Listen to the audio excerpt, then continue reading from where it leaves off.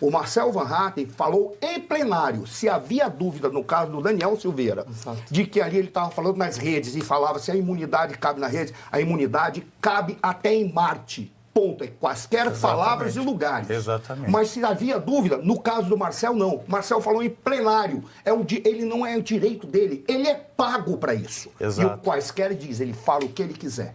Ponto.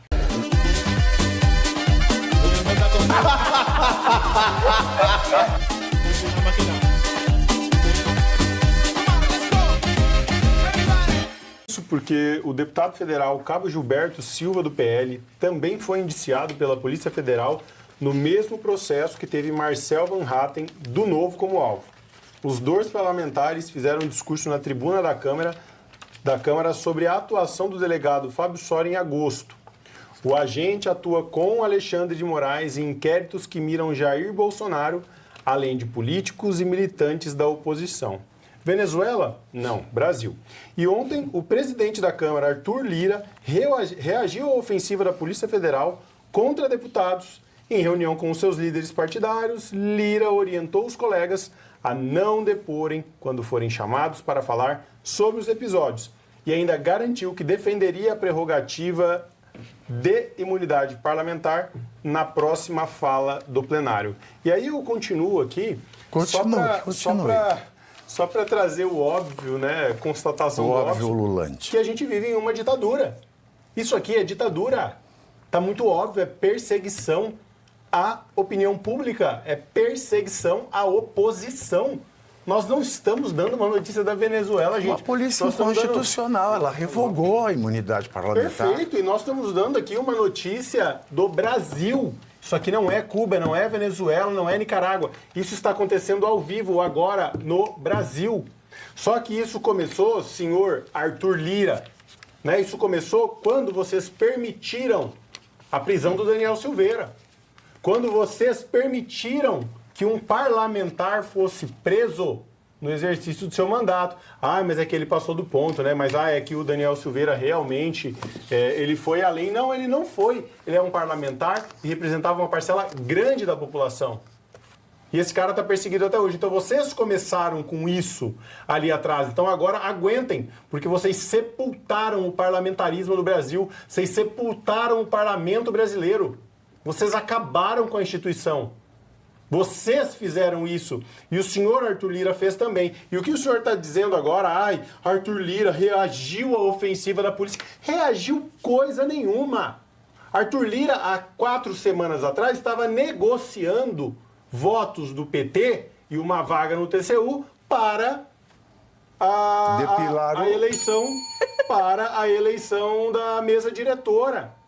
Então não acreditem vocês que o Arthur Lira reagiu e agora a coisa vai mudar. Isso aqui é uma palhaçada. Isso é uma palhaçada. Isso aqui não vai mudar nada. Muito pelo contrário, o Arthur Lira faz parte do jogo. O Arthur Lira é parte de tudo que está acontecendo no Brasil. Infelizmente, esses deputados de oposição e todos nós, jornalistas, é, é, comentaristas, todo mundo que é de oposição no Brasil, tem um tempo de vida limitado.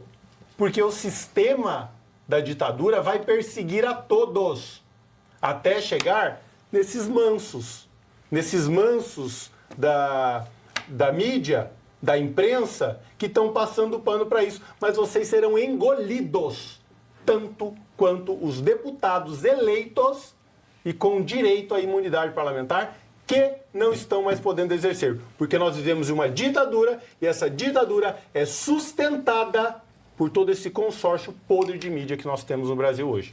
Olha, esse fato ele é tão absurdo, mas tão absurdo, e como o Caio muito bem colocou aqui, começou com o caso do Daniel Silveira, que não teve né, ali a defesa do Congresso para que, enfim, seus direitos fossem garantidos, que o Chico Alencar, vocês lembram do Chico Alencar, do pessoal Não, do Rio de do Janeiro? Chico Anísio.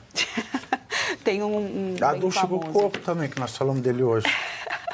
O Chico Alencar, que é um- uma figura da esquerda, ele é do PSOL, até ele, até ele reconheceu que, abro aspas para ele, abrir um inquérito na Polícia Federal contra manifestação verbal na tribuna contra colega nosso, até onde sei, é abuso de poder e isso nós não aceitamos. Fecho aspas. Então, assim, bom, primeiro que agora a gente vai começar a ver uma figura ou outra da esquerda começar a falar, porque eles sabem que isso vai sim tornar, esse caldo vai entornar contra eles mesmos, mas que eles também contribuíram para que chegasse até aqui. É gostoso quando você vê o seu opositor político sendo perseguido, não é a esquerda. Vocês se sentem satisfeitos? Vocês conseguem placar aí a narrativa de que não, o cara que é fascista, de que não.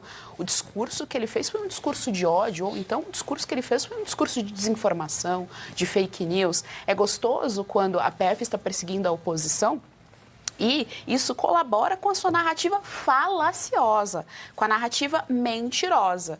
Mas não vai parar na, na, direita. Em toda e qualquer ditadura, e de novo, nós vivemos uma ditadura que é aplicada pelos membros do judiciário. O problema não é o STF. A instituição STF foi corrompida. A instituição STF está adoecida. E está adoecida em decorrência dos membros que ocupam aqueles cargos. Mas toda e qualquer ditadura, primeiro persegue uma espécie de linha de frente. Então, primeiro, ela persegue todos aqueles que têm a coragem de falar o que está acontecendo, de denunciar o que está acontecendo. Depois, ela persegue o restante. Porque é isso, é totalitarismo, é aquilo que eles querem e acabou, é ditadura, é de cima para baixo e acabou. Então, essa perseguição vai chegar lá. Agora, sim, é completo, de novo, né? De novo, a PF não está preocupada em e no conteúdo da denúncia, a PF sempre está preocupada com quem denunciou. Está perseguindo Marcel Van Hatten, que é um dos pouquíssimos corajosos a levantar a bandeira da liberdade no nosso país. Começa agora a perseguir o cabo Gilberto eh, Silva e isso vai se alastrar, isso vai continuar. E aí a pergunta que não quer calar é: quem é que vai parar isso no nosso país? Cadê o Senado, que não vê? Está ocupado, né, fazendo livrinho da democracia. Opa, Bibi, é, em vez do presidente da Câmara, Tulira, ficar fazendo um discurso furado, por que, que a Câmara, por meio de alguma comissão de segurança pública, não convoca o delegado-geral da Polícia Federal? Para prestar esclarecimentos, pelo menos gerar no mínimo um constrangimento numa Dá sessão de uma trabalho, comissão. dá trabalho. Eles não querem trabalhar, né? trabalho. Precisa fazer alguma coisa, porque eu vou repetir o que eu disse ontem.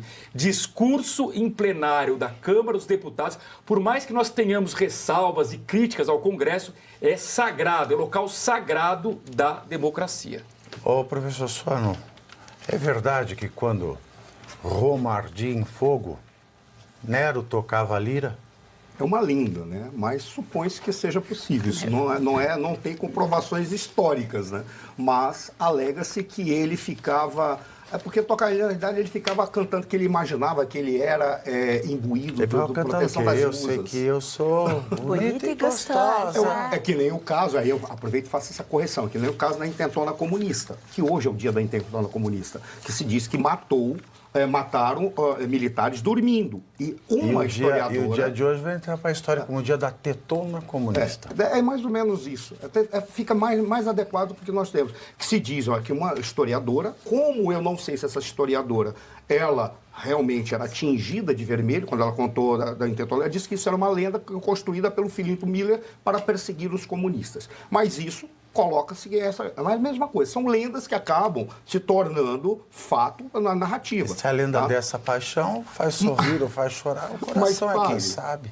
Fábio, só para tratar da questão do Lira, vou pegar o gancho do que o Caio falou, de que ele faz parte. É verdade, é, ele faz parte disso tudo. E o Lira não está muito preocupado.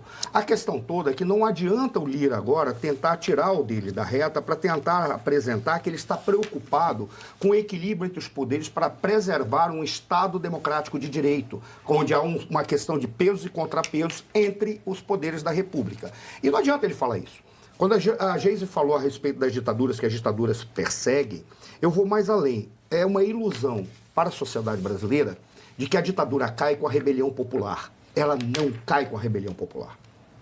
A ditadura cai quando internamente os quadros da ditadura começam a competir entre si e os laços e a deslealdade entre eles levam a que eles tentem arregimentar grupos internos e grupos externos. Aí a confusão fica numa, numa, numa situação tal em que eles não têm mais capacidade de, de controlar as rebeliões populares. Porque enquanto eles têm armas, eles podem ter uma polícia rodoviária federal armada, eles podem ter uma milícia, eles podem construir uma guarda nacional, eles podem fazer um monte de coisa, inclusive controlar as polícias militares dos estados. Enquanto eles estiverem isso, você pode colocar um milhão de pessoas na rua. Pode acontecer aquilo que foi solicitado em 2013, que se colocasse o exército para bater na, na, na, população que estava se manifestando de frente do Ministério das Relações Exteriores. Mas lá havia um general que disse: o exército não atira contra o seu próprio povo. E disse: eu não farei isso. E vocês, se fizerem, nós os enfrentaremos. Porque não é função do exército bater no povo. Não é função do exército mentir de que vai ser liberado para colocar dentro de, de, eh, de caminhões e ônibus para botar lá num campo de concentração a população que está. O Exército não faz isso. Enquanto eles não tiver internamente essa briga entre eles, não vai adiantar rebel rebelião popular. Aí o Lira vem e faz apenas a sua narrativa. Como, afinal de contas, ele quer ser ministro para quando ele deixar de ser presidente da Câmara? Nossa Senhora. Ele está dizendo, não, mas eu estou aqui para negociar com o legislativo depois que eu virar ministro. Uhum. E você, ninguém vai vir aqui. Para começar, isso é inconstitucional. Essa ordem já deveria ter sido punida e deveria ter sido investigada. A ordem que foi dada. E detalhe, só para encerrar. O Marcel Van Hatten falou em plenário, se havia dúvida no caso do Daniel Silveira, Exato. de que ali ele estava falando nas redes e falava se a imunidade cabe na rede, a imunidade cabe até em Marte ponto, é quaisquer Exatamente. palavras e lugares. Exatamente. Mas se havia dúvida, no caso do Marcel, não. Marcel falou em plenário. É o, ele não é o direito dele, ele é pago para isso. Exato. E o quaisquer diz, ele fala o que ele quiser. Ponto. É. Agora, o Arthur, quanto é que tá o dólar, hein? 5,89 agora. Tudo isso? Tudo isso. Oh, o balão vai subindo. Então, primeiro C, você curte, que é o preço deste programa. Quanto vale o ingresso para ver este palhaço neste picadeiro bonito, vale uma curtida. Vale o seu like, o seu joinha, o seu gostei. Então, a sua obrigação é curtir. Se puder, comente, porque quem comenta ajuda no engajamento. Então, primeiro C é curtir, segundo C é comentar, o terceiro C, o que seria muito louvável, seria você compartilhar. Tem um link que é a setinha, uma setinha assim, meia bomba. Sabe aquela a, a setinha da pipa do vovô que se esforça? Você vai lá, copia o link, cola no seu Orkut, no seu Facebook, no WhatsApp, no Telegram, manda sinal de fumaça, pombo correio, não é pombo correio do banheiro, é o pombo correio que leva as mensagens. Você passa para todo mundo que você gosta, para quem você não gosta, você também passa. Então, ó, curtiu, comentou, compartilhou. E se puder, se quiser, se o seu bolso comportar e se seu coração assim permitir, contribua com este programa que vai substituir o Jornal Nacional. Olha que pretensão maravilhosa, hein? Se liga, ô Bonner, nós vamos derrubar o Jornal Nacional. Esta é a meta